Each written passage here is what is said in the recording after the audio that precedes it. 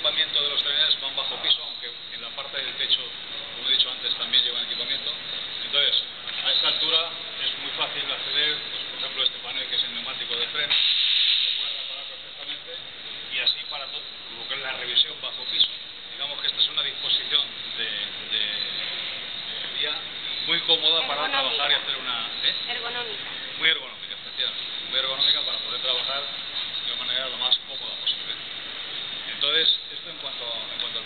Tenemos equipamiento en la parte del techo, como dije allí antes, entonces mediante esas eh, cestas, que son unas cestas móviles, el operario sube en la cesta y mediante este carril se puede desplazar tanto en, lo, digamos, eh, en, el, eje de las, seis, de las sillas como en las sillas. Puede subir y puede desplazarse lateralmente.